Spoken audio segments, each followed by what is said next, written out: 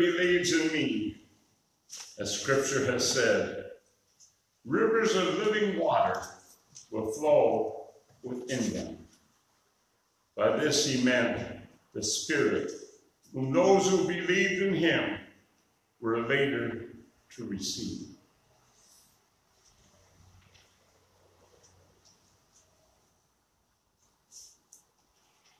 We welcome all who have come out to worship with us this morning. And we also welcome those who are tuning in electronically.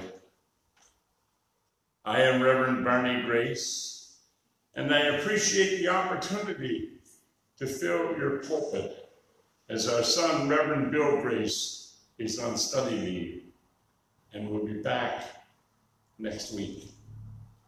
And I use the word hour Linda and I are not only partners in life, but we're a team in ministry. She has filled the pulpit for me on occasion. She has chaired meetings. She was the president of the Lindsay Peterborough Presbyterial for two terms and also of our synodical. She is my go to person when I'm not sure whether to turn left or turn right or go straight.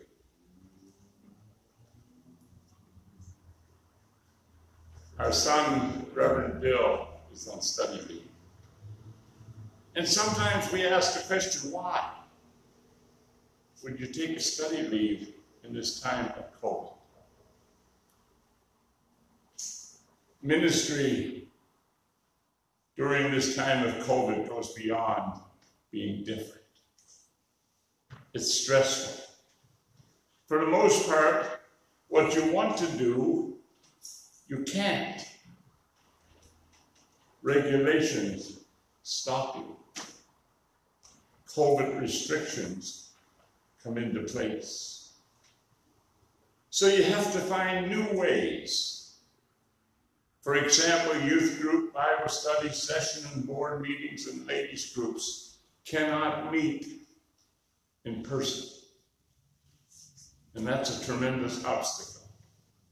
Zoom is a great tool, but it's not as personal as sitting around a table. We haven't touched on home visits that have to be done over the telephone or funerals that are restricted to 10 people. There's a lot of stress.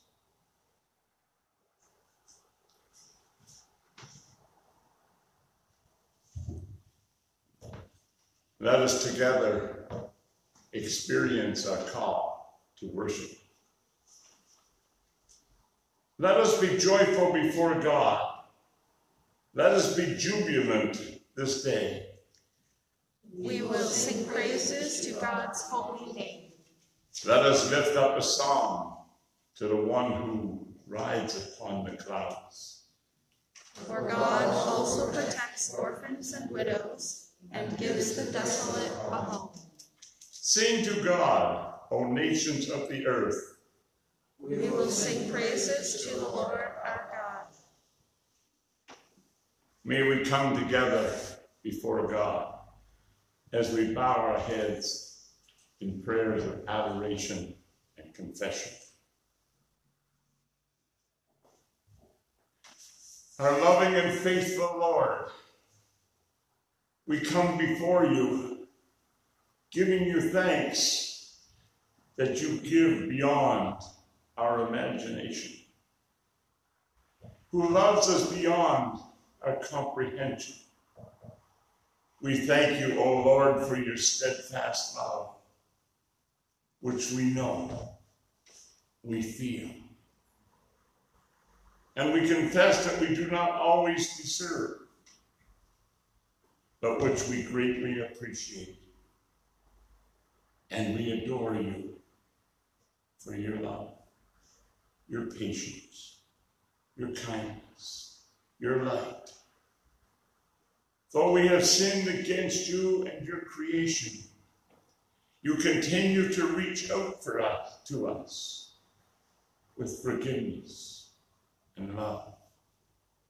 You are always there.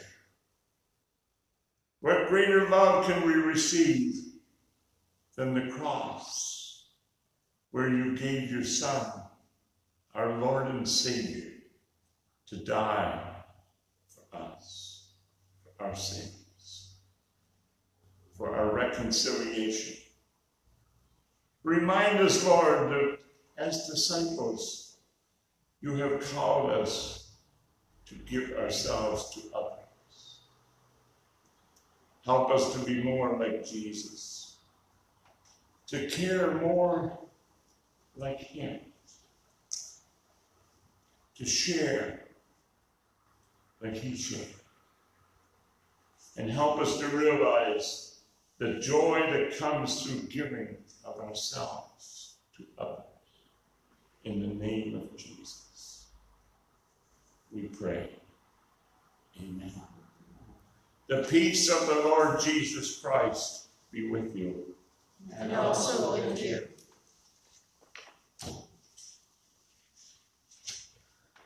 Lead me, Lord. Lead me in your righteousness. Make your way plain before my face. For it is you and you only who makes me dwell in safety. Our responsive reading is found on your insert Today's reading is taken from Psalm 68, verses 1 to 8. May God arise. May his enemies be scattered. May his foes flee from him. May he blow them away like smoke, as wax melts before the fire. May the wicked perish before God. But may the righteous be glad and rejoice before God. May they be happy and joyful. Sing to God, sing in praise of his name. Extol him who rides on the clouds.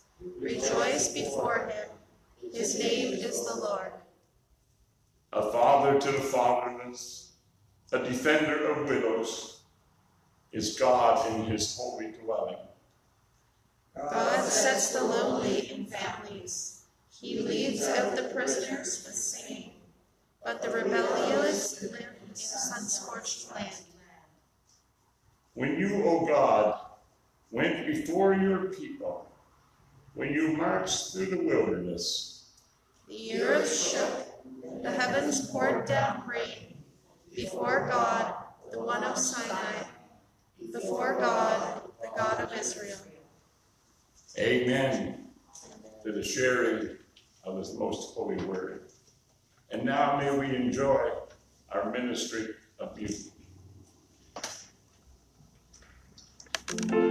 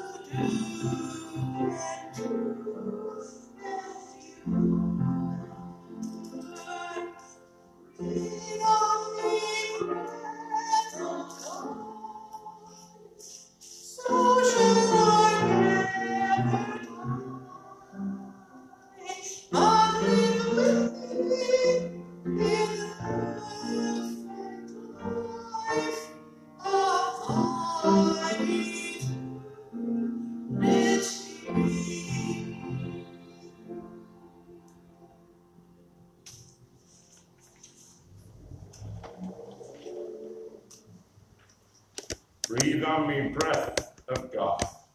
Thank you. Thank you very much.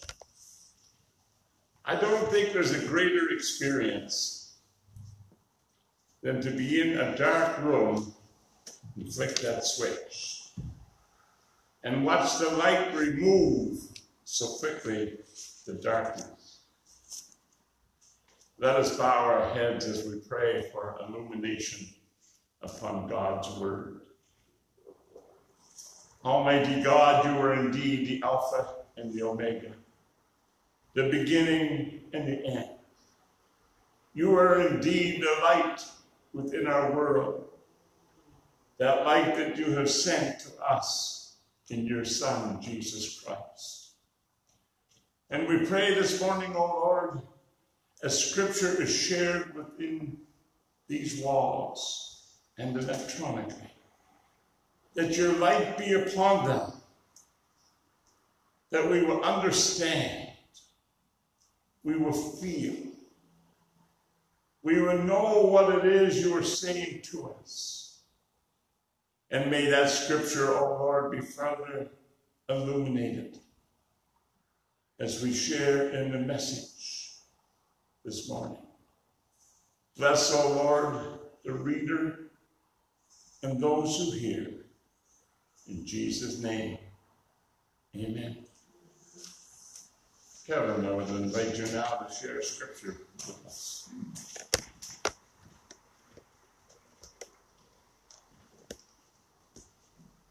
Our first scripture reading is taken from the New Testament Gospel according to St. John, chapter 7, verses 37 to 44.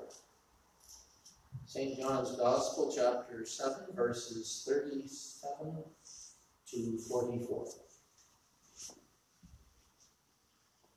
In the last day, that great day of the feast, Jesus stood and cried, saying, If any man thirst, let him come unto me and drink. He that believeth on me, as the scripture hath said, out of his belly shall flow rivers of living water. But this spake he of the Spirit, which they that believe on him should receive. For the Holy Ghost was not yet given, because that Jesus was not yet glorified. Many of the people, therefore, when they heard this saying, said, Of a truth, this is the prophet. Others said, This is the Christ. But some said, Shall Christ come out of Galilee? Hath not the Scripture said that Christ cometh of the seed of David, and out of the town of Bethlehem, where David was?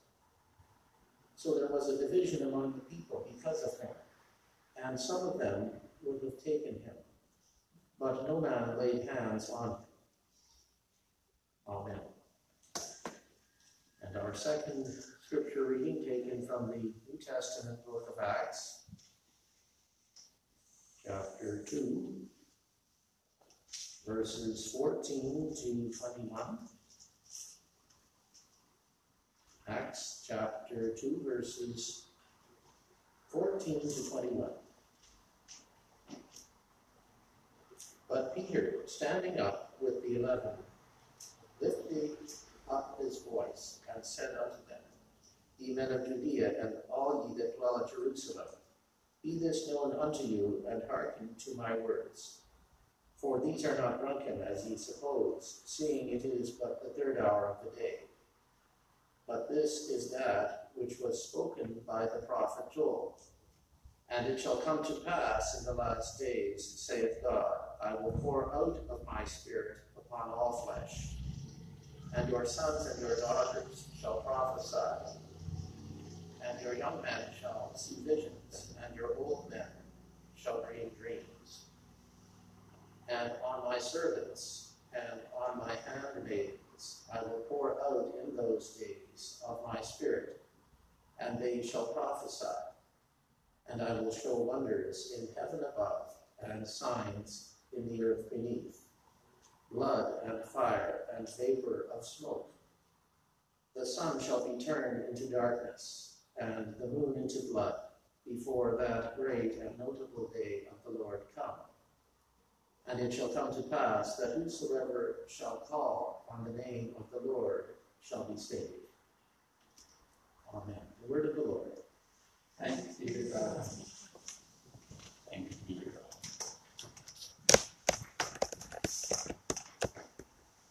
Thank you, Kevin.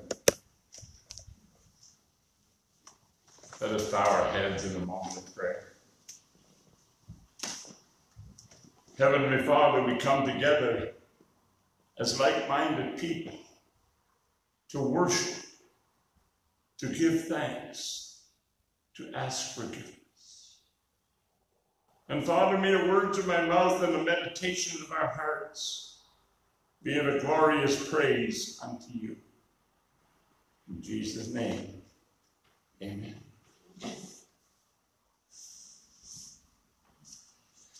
As my wife and I drove down from Lindsay this morning, for some reason the conversation came up about this world being in a bad spot about so many things happening that are not right. And we come up with two or three possibilities of what might be causing that. During the 50s, there was a glorious boom in the church after World War II. And churches added to their buildings. Churches built new buildings. Churches had Sunday schools that were very, very well attended. And the one answer that we come up with is the world, and the overall, not all of it, is suffering from moral decay. There is not much that you can do or not do in society today that shocks anybody. Everything is okay. Five days from today, our oldest son, who was born 32 years into our 32 months, not years, into our marriage, brightened our life. And at that time, we realized that we had been given an awesome responsibility by God. We were to bring him up knowing what was right, knowing who his creator was and why. And then we would go on to be blessed with two more children. And I'm not going to try and count the months this time. it was our daughter, Megan, and now we had a boy and a girl. And each of them thought differently. And we had to teach them what was right and what was wrong. And that God's Spirit would work in their lives. And then seven years later, 10 years between one and three, our son Bill, your minister, was born. And he too had to be taught the responsibility that God gave us right from wrong, good from evil. The Spirit of God was there to work in his, his life. Today we celebrate Pentecost. And usually you go straight to Acts and you find that reading where Paul is talking to the crowd. And I enjoy that description of Pentecost as described by Peter in Acts 2. He is talking with thousands of people who are each able to understand him in their own language. And there are many different languages in the crowd. They are of one accord. And that's what God calls us to be, of one accord. Then suddenly there's a sound from heaven, like a mighty rushing wind, and it filled the whole house where people were sitting. There was a lot of excitement. There was a lot of questions being asked. There was a lot of theories being put forward. And I like that part where Peter speaks by saying, These men are not drunk, as you suppose. He reminds them that it is only the third hour of the day. Peter goes on to explain that they are filled with the Holy Spirit. And today I would like to leave that part of the Pentecost story and go over to John chapter 7, basically verses 37 to 39. I would like to focus on the Holy Spirit working within us as found in John. When Jesus talks about the work of the Spirit, some of us respond with excitement, and others with a wee bit of apprehension. The possibilities are exciting, they're actually wonderful. But the unknown can be scary. I've spoken from the pulpit in different congregations where people said to me, I wish you wouldn't talk about that Holy Spirit stuff. Why can't we just keep it within our own church and leave that spirit business out of it? They found it to be scary. But without the Holy Spirit in our lives, we as Christians are walking alone. We may wonder what His will requires of us and how the Spirit may change our lives. And I guarantee you, folks, it will change your lives. We may doubt that the Spirit would be interested in working with us. Why would the Spirit want to be bothered with me? I'm just a pebble on the beach of life. Jesus addresses these concerns as he clearly defines the function of the Spirit, the purpose of the Spirit, the why of the Spirit, the who of the Spirit. First of all, the Spirit is for you. You, you, you, you, and all of you in electronic land. The promise of the Spirit is given to two groups of people those who thirst and those who believe. The message, however, causes us to wonder if these are really two groups of people. Jesus calls the thirsty, those who are in need, those who are in want. And he says, Come and drink. Who are the thirsty? The thirsty are all around us in this world that's going through such a moral decay. We meet them in the marketplace. We meet them in our places of work, in our recreation.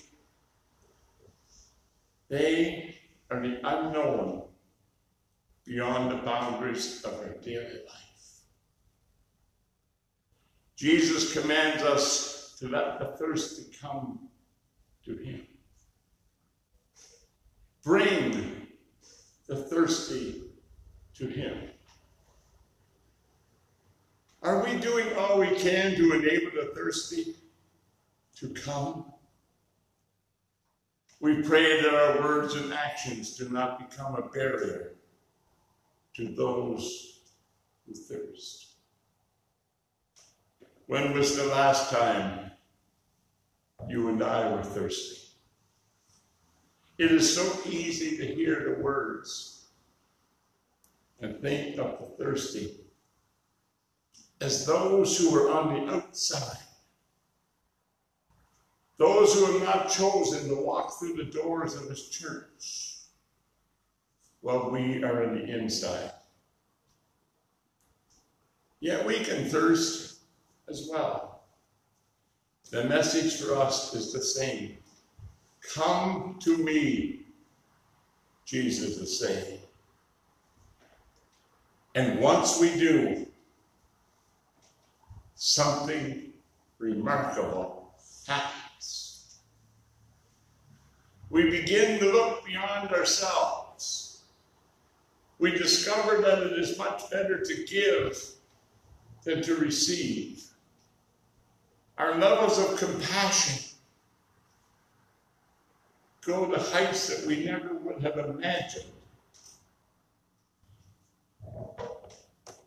What takes place when we drink from the hands of Jesus? Our lives pour forth rivers of living water. People see us, people hear us, and they would like to be the way we are. This is the work of the Holy Spirit for all who believe. Lives are changed. It begins with a thirst for living water, wanting something different, something more, something real, something you can touch. The thirst is quenched by the coming of Jesus. The Jesus who walked the paths of this world. The Jesus who went to the cross at Calvary for you and I. The Jesus who loves us. Through this process, we are changed and we become a source of living water to others. To others who want an answer to why we are here what is the purpose of my life on this earth? How do I get through the difficult times? And we all know that there are difficult times on this earth. Jesus never promised us an easy ride. But he said, I promise you this you will not be alone. I will see you through your lives. I will lead you to eternal life. And as we travel through life, as we walk in God's light, we will discover why we are here. And sometimes it's just a wee bit at a time. Sometimes just a few moments or one week. You can look back and say, that was good. That was real. God's hand was in it. But what does it all mean? If we want to experience the work of the Holy Spirit in our lives, we have to get thirsty first. We have to want to make a difference. Only when we get thirsty for God, His strength and His love in our lives, can we experience Him more fully? Second, we have to drink from the hands of Jesus. That's right, folks, we have to drink from the hands of Jesus. We can do this every day of our lives through prayer, Bible study, and meditation. Third, we must allow all we have gained through our relationship with Him to flow forth into the lives of others. And so often we reach out and we do not get a response. Jesus knew this as he walked those dusty roads. He knew this as he heard the crowd holler, Crucify him! Crucify him! But he went on to say, Forgive them, Father, for they know not what they do. We are called upon to reach out in love, in the love that God has given us. But sometimes we are afraid. We are afraid to follow the signs that we are given. Sometimes it is easier to turn our backs when we should walk forward. The story is told of a thirsty traveler searching for water in the desert. He discovers a pump attached to a well. And beside the pump, there is a jug of water with a sign. And this sign warns that he must prime the pump first in order to receive water with the jug that is sitting there. Then he can drink all of the water he desires. And do not forget to refill the jug for others. After some sober thought, and there was some sober thought. Do I trust that this jug of water will prime the pump, or shall I take a drink and quench my thirst for this moment? But the sign is saying, prime the pump. and you will drink in abundance fresh, clear, cold water. The work of the Spirit in our lives is similar. We must first prime our pumps. We must want to make a difference in this world. We prime our pumps before we can produce water for the thirsty. Once we are filled, the living water within us can flow into the lives of others. And we can make a difference in our neighbors, our friends, our children, our grandchildren, even strangers. Jesus tells us to share our living water and lead the thirsty to Him. As Peter shared on that first day of Pentecost, over 3,000 souls were saved. May we, may you and I, in the name of Jesus, reach out to the thirsty, that they too may spend their eternity in heaven. Let us pray.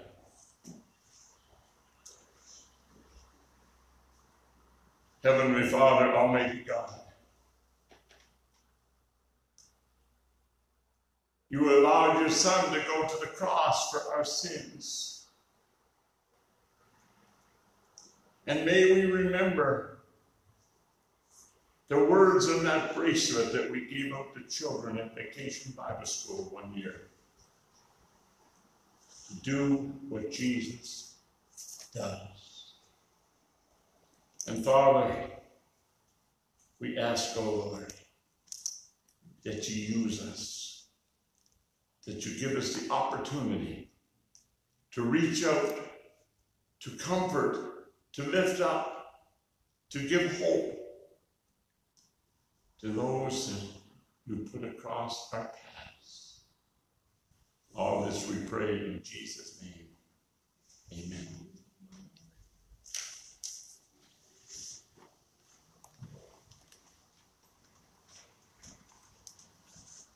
The reality is that our church functions on the givings, the tithing, and the love of others. But the wonderful thing is that all of the money that is collected is used on this earth to make a difference in our lives and the lives of people we may not meet As you come in, you deposited your offering in a box at the back of the church. And if not, you may do it on your way out. Let us have a separate prayer as we dedicate that offering to God. Almighty God, we have chosen to come into your church this Sunday morning to sit and worship together as like minded people. We have given unto you a portion of that which you have given unto us. And we ask, O Lord, that you bless the tithes and the offerings in the collection box at the back of this church, that they may go forward,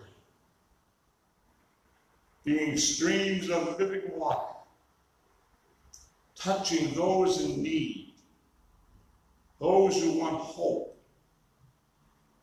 those who want a purpose in life that includes you and your Son, O oh God. In Jesus' name we pray. Amen.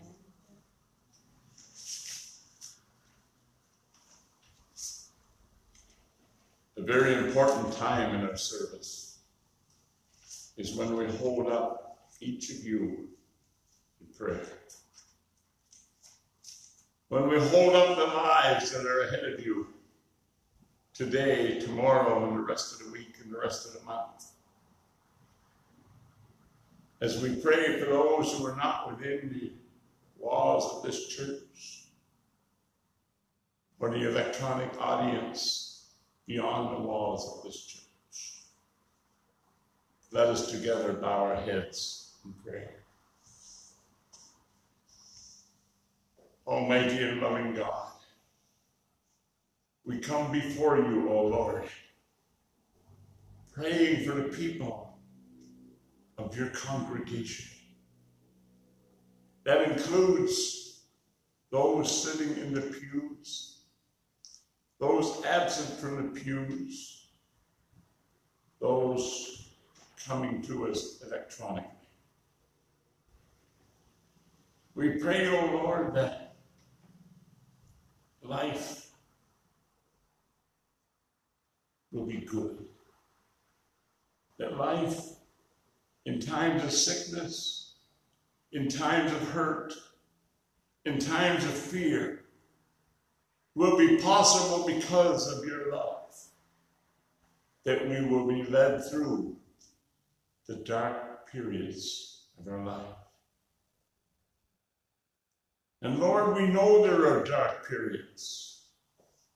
This COVID 19 being the largest most of us have experienced. And we keep looking for an end, O Lord. Give us patience, O God, as that end draws near. Lead us, O Lord, in the way in which we can be protected physically through vaccines. And as our mental health is tested,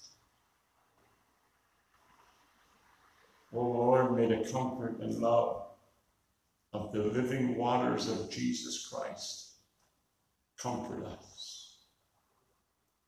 Blessed Lord, we pray for the young people of our community, and of the world. We pray, O Lord, for their safety. We pray, O Lord, that a light will cross their path to teach them of the love of Jesus. Father, we come before you holding up those who are laid aside with sickness, some in hospital, some in nursing homes, others in their own homes. May your healing hand, O Lord, touch each of them in a special way. And I hold up to you, O God, Linda's sister, who is in hospital in Ottawa, healing from heart problems. Heal her, O God. Bring her home in health. Blessed and Almighty God, so many fears going around in our society. People looking for work.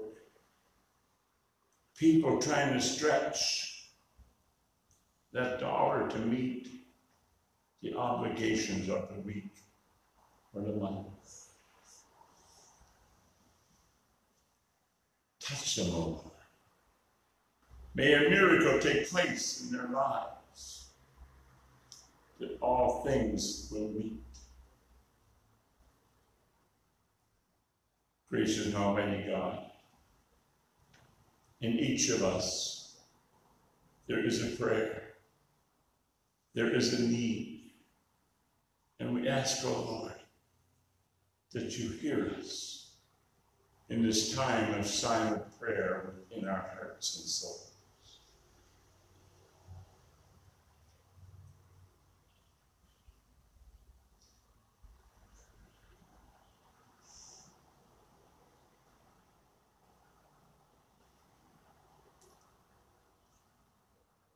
Father, as we pass through this pandemic, we pray for the leadership of our regions, of our province, of our country, and of the World Health Organization, who are doing their very best to lead us through a difficult time.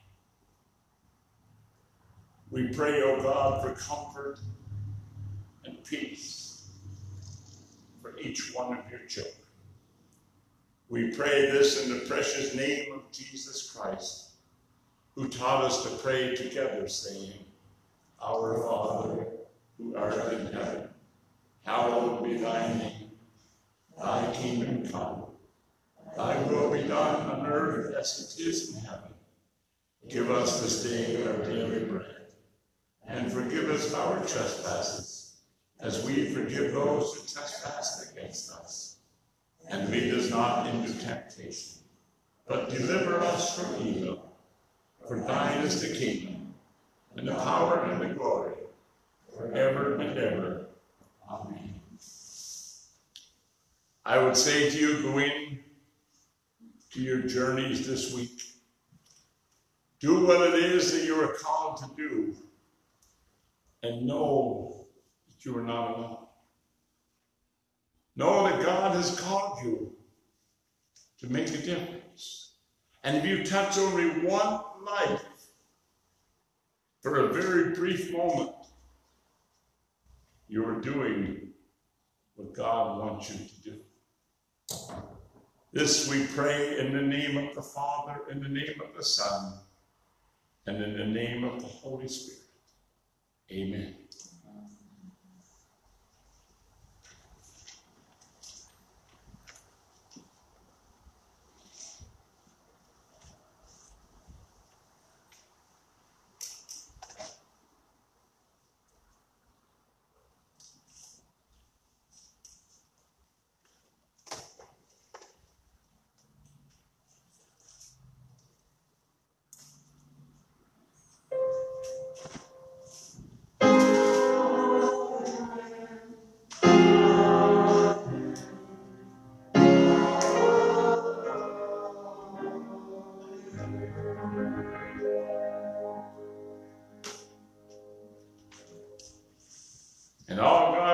Children said, Amen.